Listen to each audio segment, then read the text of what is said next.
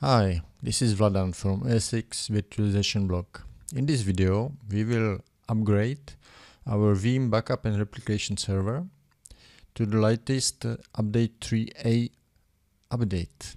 For this, we need uh, only the exe file. We do not need the whole ISO, but you can still download the ISO if you gonna install clean copy somewhere.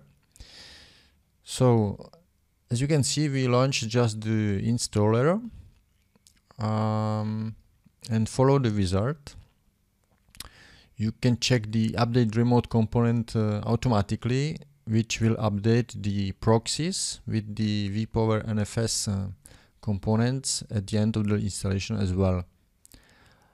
Um, the installation first uh, stop the services of the Veeam uh, backup, backup server and then makes a backup copy and then only install the upgrade the the server.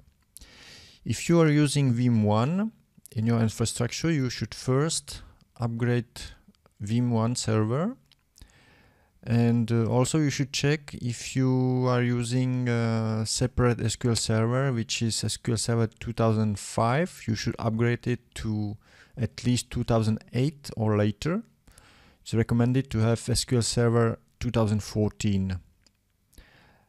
Um, as you can see, we have um, upgraded the backup server successfully.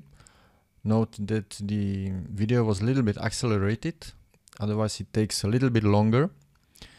But uh, this is it. It's, there is nothing much to do. Just uh, check the requirements. I'll post them in the post as well and this is it. Thanks very much for watching. Bye bye